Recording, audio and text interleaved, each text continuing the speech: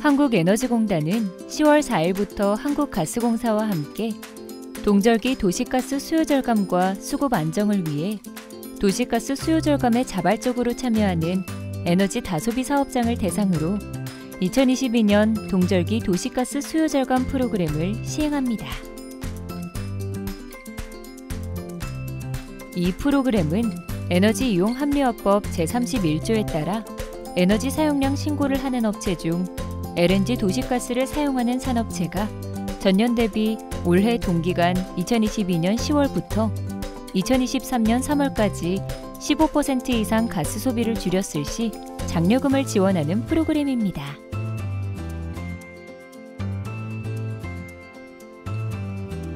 프로그램 신청은 전용 홈페이지 또는 한국에너지공단 홈페이지에서 전자민원, 효율 향상, 도시가스 수요 절감 프로그램 신청 페이지에서 하실 수 있습니다.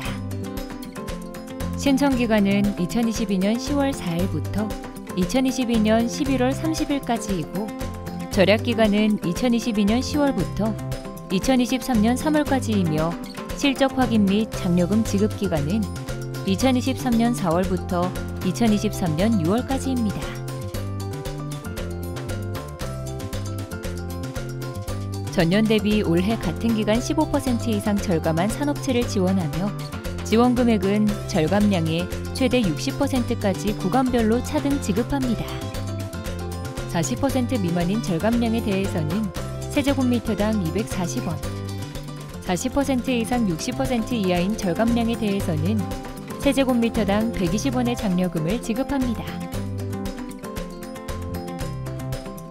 사업장의 에너지 비용도 줄이고 장려금까지 받아갈 수 있는 기회. 가스 절감이 절실한 이번 겨울에는 2022년 동절기 도시가스 수요 절감 프로그램과 함께 보내는 것은 어떨까요?